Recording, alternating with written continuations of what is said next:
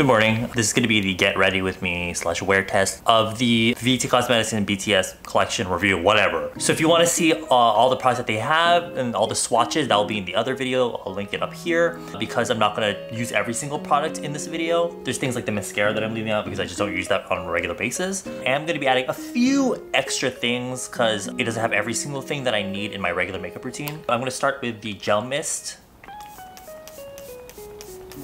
it smells a lot like um, Caudalie, the Caudalie mist. I know that's a really popular uh, product amongst like American beauty YouTubers, but it smells just like that. I originally got like a cotton pad out to kind of do this whole situation, but it doesn't, it seems like you kind of have to use a cotton like this, otherwise the mist is just so fine that it'll just eat up the mist and you have to spray like a lot. You need to like really dump that shit in there. but I kind of already did my skincare anyway, so it's refreshing. It feels more like a mist that you would use whenever you feel dry. Not necessarily, oh, I need this for like part of my skincare routine. Now I'm gonna prep my lips with a lip balm that they have. This is number three, Melrose. I'm using this more to just like prep my lips for the matte tint later, but you could probably use this as like, because it has color in it, you probably just use it as like the lip color for your look. And then we're gonna move on to primer, the Glorious Gloria. Is this like, on the back it says VT BTS Gloria Primer, but there's this Glorious on there. I don't know what that stands for. Someone can explain to me. From the swatch yesterday, I don't feel like it did much for my skin. I thought it was gonna add a little bit, oh, I thought it was gonna add a little bit of like this iridescent glow, but it kind of just blended into my skin. Have this uh, event that I'm going to today with Joan, the uh, Gentle Monster and Mino event. So hopefully she looks a little bit popping, at least a little bit. It's about 1 p.m. in the afternoon, so I'm gonna be leaving in like four hours, so hopefully it won't be like broken down too much. There are some days where I'll be like testing makeup. I'll put it on like super early in the morning, like 7 a.m. And by the time I go to that event or schedule that I have, I'll be like breaking down like, hey guys, I'm a beauty YouTuber, hopping into a party.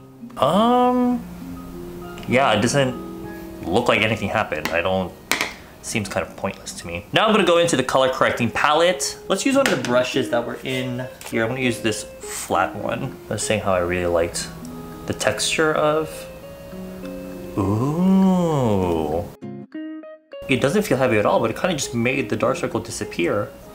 But it's super thin. Ooh, 좋아. Then again, Maybe the lasting power wouldn't be that good if it's this thin. But it seems like the more I build it up, it doesn't get any thicker. It's kind of, it still remains really, really thin.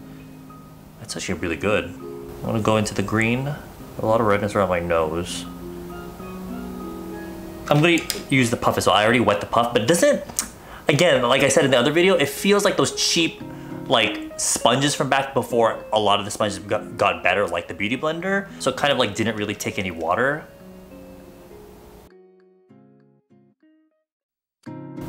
Is it raining? It's not raining. I walked outside and it was really chilly, so we can finally layer clothes.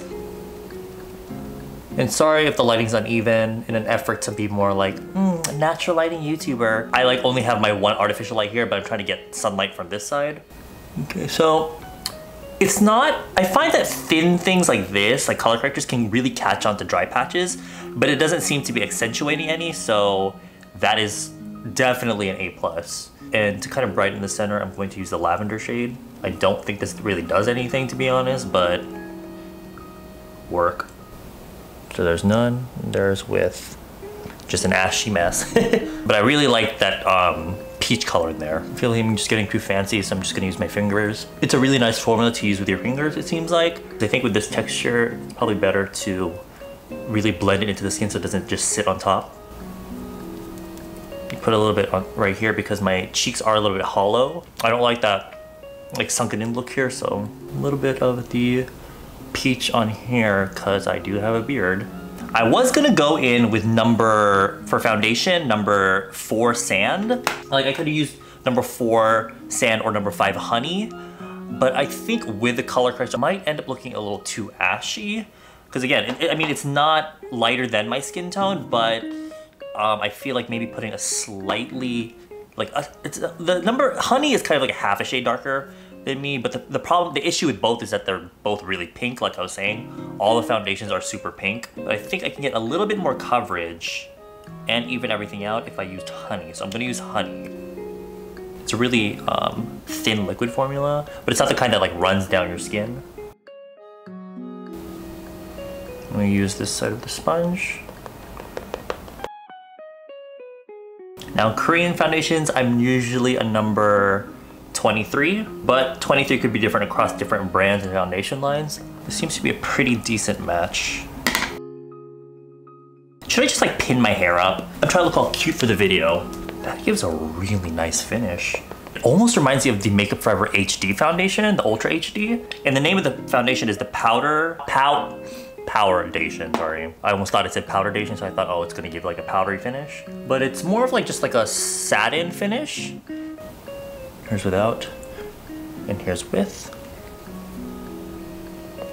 Use this side to cover my dark circles. And that like eliminated my dark circles. We love a foundation with which gets rid of the dark circles. All right, so I'm pleasantly surprised by that. Now let's just even everything out on the other side.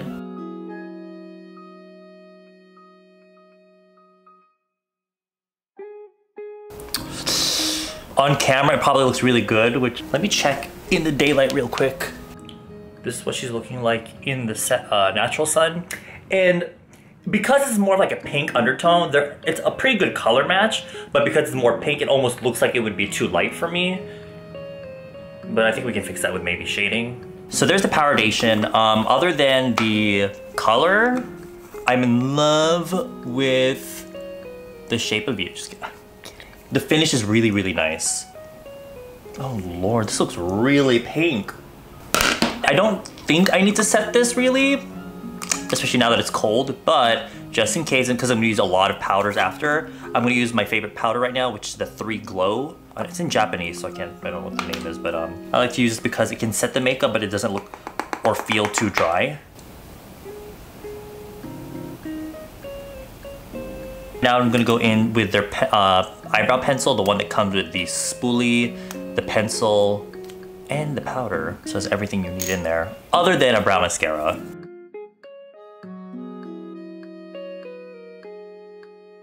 I use the pencil to fill in the shape and I'm gonna use the powder to do the, okay, that's a little much.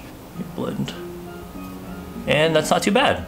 I mean, it's a it's a brow pencil. Like I don't think it's that hard. Um, it's a great brow pencil, but the only thing is, um, it's probably not for you if you like to draw your brows quickly. You can get a precise brow. You can draw exactly how you want your brow shape to be, but you do kind of have to keep running over it because the pencil formula is a little bit hard. Uh, now I'm going to color my brows in with this Kiss Me Eyebrow Kara. It's in this new color that I got. It's like a pinky brown and I find that it really suits the makeup that I've been wearing lately. Now for a little bit of uh, contour and highlight, uh, I'm gonna go into contour palette. It's a little too candle. It looks, looks more like eyeshadow to me rather than like a proper eye, or not eye, but a proper contour palette, but this might be a little bit difficult to see because of the lighting. Okay, so the middle shade isn't that bad for contouring. It's very natural. Let me go in with the deeper one to kind of deepen up the like here. Okay, that was um quite pigmented. Oh lord, great. Let's see if I can blend it out with a lighter shade. I don't know why this lighter shade is in here. I don't know what that's for. Because it's not even light enough to be like a highlight shade. Not highlight like a shimmery highlight, but highlight to kind of like emphasize certain areas. But I guess you can use it to blend out the contour if you go in too hard which we know I'm very good at. I'll try this brush and mix these two colors. Holy, ugh, it's a lot of fucking fallout.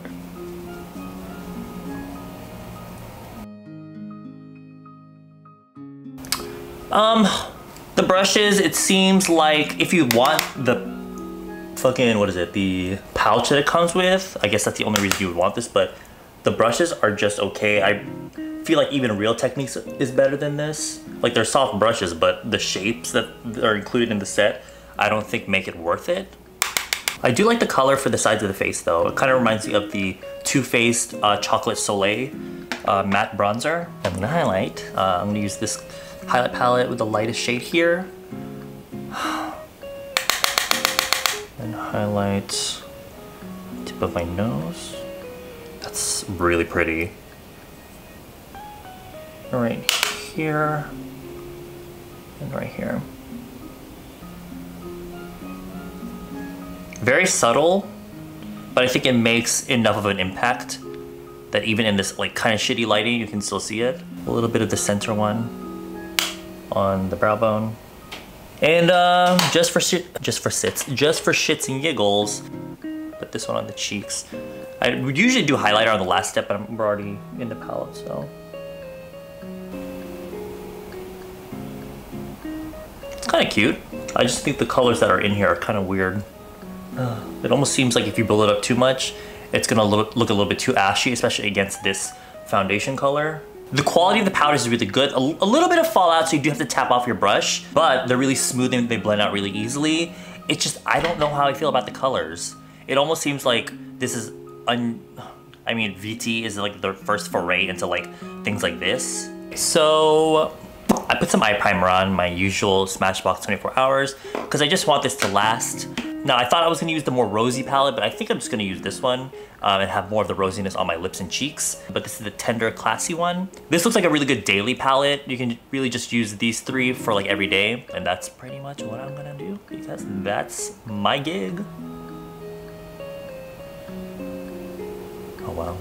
So even from the swatch yesterday, the powders themselves are really buttery and smooth. I'm kind of just slapping these on to be honest. As long as it generally generally looks blended, I'm good, sis. I'm not even gonna bother with the brush that came with the brush set because they're kind of uh, not that good. So I'm adding the light brown all over, the lid, just all around. I'm gonna take the shimmery color in the corner here and on my finger and you see that? Place that in the center here. And I'm gonna take on a pencil brush this deeper color and add that on the outer corner for depth. Also the inner corner. Sort of like a halo eye effect. And I'll just use the brush I used for the first shade to kind of blend out that edge. Like that. It's a good thing I used the eye primer because I kind of get the feeling that although you get lots of blend blendability and the powders are really smooth and soft and everything, all those nice things, it really feels like the type of formula that's gonna like not last that long. If you have maybe dry skin, it would be fine. But I can tell, being like an oily, an oily skin bitch, I can tell this isn't gonna last that long if I didn't have an eye primer and that it would just if anything, you'd probably just disappear by the end of the day. Uh, I want to take a little bit of that on my pinky and put that on the inner corner. Open her up a little bit. Love that. Then what I'm going to do, maybe, and kind of dip my finger a little bit. I don't think it's gonna make that much of a difference because they're both pretty shimmery. Just take that and pat that over the center of the lid just add a little bit more shine. Now dipping in, dipping into, this is a fucking pencil. Now I'm gonna use the brown pencil. This, I'm gonna use uh, milk brown inga? Oh, milk brown. Not to make like a line line, but just kind of extend my eye shape as I usually do. Probably could get away with uh, using the darker one. You can probably see a little bit more, but I'm gonna use the dark shadow in here anyway to just enhance this anyway. I'm using this as almost like a base for that. Very, very subtle. But I think it would be a good everyday color. If you're the kind of person that kind of needs to line the eyes, just add a little bit of definition. Like I said, I'm gonna use that uh, dark chocolate color in here and use it on a angled brush. So it's just a quick, easy, everyday look. A quick and easy Edward Avila look. I feel like I already have so much shimmer on my eyes, but I wanted to incorporate this somehow. Um, the little Nunmul liner. I don't know how I want to use this. I'm probably just going to use it the same way I always use these sorts of products. Oh, I hate that. That is not nice. The base is quite watery. I do not like that at all. It's a really watery formula. And I feel like I can't get the liner to stick in the place I want exactly. It kind of gets everywhere. And it looks messy. I don't like that. I feel like this would be better like if you just put it on the lid and blend it with your finger, that sort of shine, but on like the Aegyo like it's called a liner, but I feel like it's not, the formula isn't like solid enough for it to like stay where you want it to be if even if it wasn't a line. From far away, it doesn't look too bad. It's like it's kind of cute like shine, but other than that, I, she's not feeling it. Uh, I put the cheek palette right next to this so that I can do the cheeks next, but I think I'm gonna do my lips first. Uh, I end up choosing number four, Love Sick. Oh lord. By the way, the lip balm didn't really do anything for my lips. My lips still feel really dry. And usually lip balms, if anything, they'll soften up the dead skin on the lips. Here, let me show you. They'll soften up the dead skin on the lips so that you can at least wipe them off, but I didn't really do that. It kind of just disappeared. I didn't even wipe it off really. I just, the color's really pretty, but the formula isn't really that good. I thought it would have been one of those ones that smooth out the lips, but it's not. Like the I'M MEME, Cashmere, TikTok, whatever, those really make your lips look super smooth even if your lips are super dry. To a degree it does, but it, not like that. I guess I'm just used to that formula, but otherwise just can, if you have a little lines on your lips or dry patches, sweetie, this is gonna, maybe it might just be this color. Should we put a little bit of another one on there? Actually, I'm too lazy to get that one. I'll just use this one that I got from my, from Moonshot. This is a really pretty color. Just a little bit in the middle. I was looking a little bit like a zombie.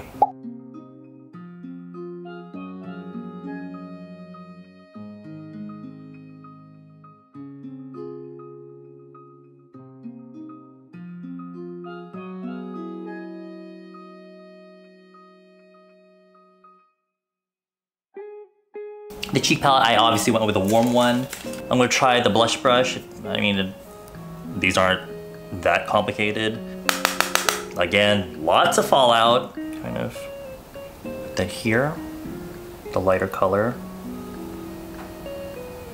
Just to start that off. There are three colors in here, so I think it'd be a perfect time to use my sort of like three color blush technique that I'd like to pretend that I made up. I'm gonna use this more corally, peachy shade. Oh, that's a lot.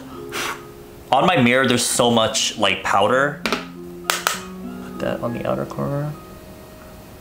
It's not so insanely pigmented, so you can get like a really easy soft blend, which I prefer. It's not like in your face. Go back to the first color, kind of blend that out. And then as like a little pop, just tap in there a little bit. And just right there. So this is not really different from the blush that I tend to use on a daily basis anyway. But the fact that there's three blushes in there, you can get more like a soft, natural look. And that's what I like. So the quality of the cheek stuff is really nice. Not insanely pigmented, but it's easy to build up the color.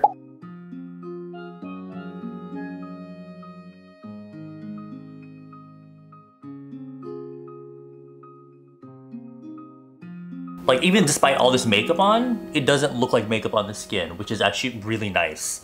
So um, I have to give it to VT for that. Uh, a lot of the formula, although powdery and stuff, they're very finely milled. Sorry I keep like going over there, but the, the sunlight, the natural sunlight's coming from there.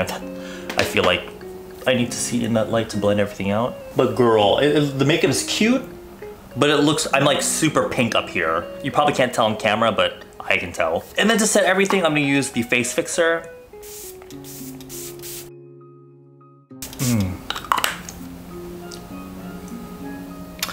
So what I'm liking and what I'm not liking. What I am liking is the fact that my skin looks so smooth.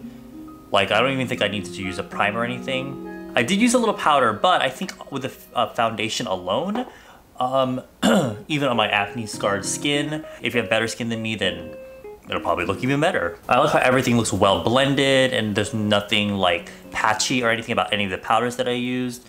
Um, contouring, not that it's bad, it's just I don't feel like it's really there. Things I don't like, I did have to put foundation down my neck a little because it was just looking so, so pink. Although the formula is great, the color is terrible.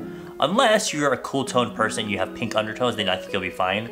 But otherwise, on me, it's like the right value, like the right lightness, darkness, but it's not the right undertone. The glitter liner I didn't really like. I did clean it up by using, like I took a little piece of tape, a scotch tape, and I made a point out of it and I kind of just picked up the glitter that was in places I didn't want and that fixed it, but um, it was hard to use in general, so I prefer to use maybe like a gel pencil shimmery liner or like a the 3CE eye, uh, eye switch. Brushes, I mean, other than the, the, two face brushes, these are great. These are whatever. This one right here, the large flat one, is great for concealer. This one would be good for uh, powder brow products, but otherwise, these look like concealer brushes to me. I feel like doing your eye makeup with those would take forever. But I mean, I guess you do get a cute pouch out of it. The lips, I don't like the lips. The color's pretty, but the formula, like, my lips are kind of burning to be honest. They don't really do much for me, and I feel like it's already gone. Out of focus and far away, it looks decent, but up close, it looks like a dry, cakey mess, and I don't like that. The mist was fine as well. It set all the powders down, not that it really needed it, but uh, hopefully it will help the foundation and all the makeup last throughout the day. I guess I'll just see you guys at the end of the day. Ugh. my lips really hurt. They're like so raw. Clearly there's like nothing left on my lips except for beautiful little cut right here. Ooh, yes, the pigment in that flesh. 8.04 in the evening, so it's been, I feel like, a pretty good amount of time since I applied the makeup. Obviously, the lips are not there anymore, but my lips are so raw that I'm gonna apply the lip balm. The thing is, I drank quite a lot of water even before I recorded the video, and I used a lip mask prior, so I don't know what the deal is. Um, it just did not agree with my lips. It's not to say that this won't look good on other people's lips. I think if you have really great lips already, they would look amazing on you, but for me it just didn't work, and I've tried better, so. I'm like pleasantly surprised with the way that the skin is looking. Um, the contour is, I don't really see it there anymore, to be honest, even on my nose, very slightly there. But everything else, like even having oily skin, it's looking pretty fresh even after this long. I would have blotted even like three or four hours in usually, but um, I feel like even now it's fine. And for my dark circles, they're still pretty well concealed for the most part. Usually with color correctors, it's almost like they fade from underneath the foundation. But with this, I mean, I don't have to, like, I don't, it looks fine to me. And surprisingly, it did not crease in my lines here, like at all, even a little bit. And I, I didn't even pat it out or anything. Even on my forehead. That is some A plus shit right there. Blush is still intact for the most part. The main color you can see, the eyeshadow is the same. The glitter eyeliner is still pretty much there. Didn't move or like fall into my cheeks or anything, which is good. Brows are still intact. I'm pleasantly surprised. I guess from my personal experience, the only thing I just didn't like was the lips, the lip thing. it smells so nice. So, final thoughts. Um, I'm, I'm obviously gonna keep trying this stuff out and if uh, anything changes, I'll report back to you. Uh, quick update from me. Um, still loving the foundation. In general, it pretty much looks the same way as you saw in the video every time I've been using it for the past few days. And um, the only thing is just that I'm not really gravitating towards using the eyeshadow because it's kind of a basic. I mean, I use basic eyeshadow palettes, but it's just not. I just have other ones that I prefer. But other than that, nothing like I haven't broken out. Nothing has like gone weird for me. I just don't really use the lip rouges. That's the only thing. I've been really into the eyebrow pencil because it gives me them like sharp brows. Uh, from a first impression from today, I and I'm liking it so far. And even the lip balm is really nice. Um, it's a really pretty color. I mean, I don't have anything else to say really. I mean, my gripe with the collection is like the coloring of maybe like the contour palettes. These seem like really weird colors. They're very like, I'm say camel toe. They're very camel-y, like almost like eyeshadow colors. Um, that I don't think really suit. Maybe they, they would suit you if you have really, really fair skin. The highlighter palette isn't bad, but it seems, the colors seem kind of random. I would have hoped for a little bit more variety in the textures. The eyeshadow is really pretty. The, you get a lot of product in there. Really good color payoff. blends like a dream. A little bit of fallout, but I don't mind personally. Um, but the colors just don't really excite me. I mean, there's nothing really innovative, to be honest, about this collection. It's just a matter of whether or not you like BTS and you want to pick up the products because it has their name on it, which I think is kind of bullshit because it's not like they're sporting any looks with the makeup itself. This is only the makeup, there is the skincare and everything, but the only thing I have from that is this, and I still have yet to try the mask, the peel-off pack and the sleeping pack. But yeah, other than that, like, I guess if there's any colors that you are gravitating towards, then hop on it. If there's one thing I'd have to say, it's probably that the pricing is quite a bit steep. Now, makeup these days, it does, you know, it's not like astronomically expensive. There are other things like this that are around this pricing, but I just feel like you can get like the same thing from cheaper brands these days. And even the foundation, it doesn't seem like there's a lot in there. I feel like it almost feels like a half empty bottle. I don't feel like I have anything else to say other than what I've already said in this video. So um, again, if I have to update you on anything, uh, will be in a future video. But yeah, thanks for hanging out with me today. I hope you found that video helpful and I will see you in the next video. Bye-bye.